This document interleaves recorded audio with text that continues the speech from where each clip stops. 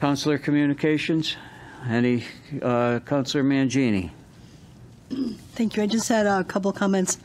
Thank you, um, Councilman Hopkins, for a very um, powerful prayer uh, honoring Dr. King. I appreciate that very much, and I think you uh, got the message out that we as a people need to continue to grow and to strive to do his work. So thank you for that.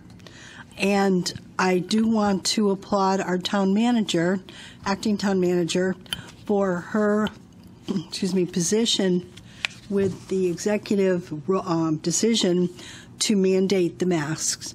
Um, I'm probably, along with many other council people and public, don't really like having to wear this. However, the intent is to protect people um, from any type of sickness, you know, uh, the COVID that could occur.